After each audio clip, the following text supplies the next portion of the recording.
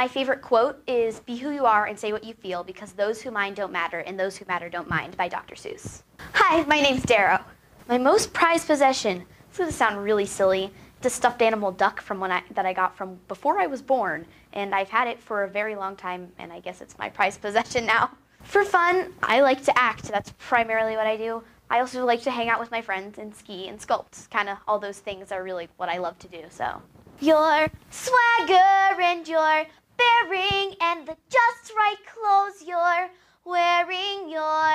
short hair and your dungarees and your lace-up boots. Well, I have one. It's really nerdy and kind of silly, but why did the dinosaur cross the road?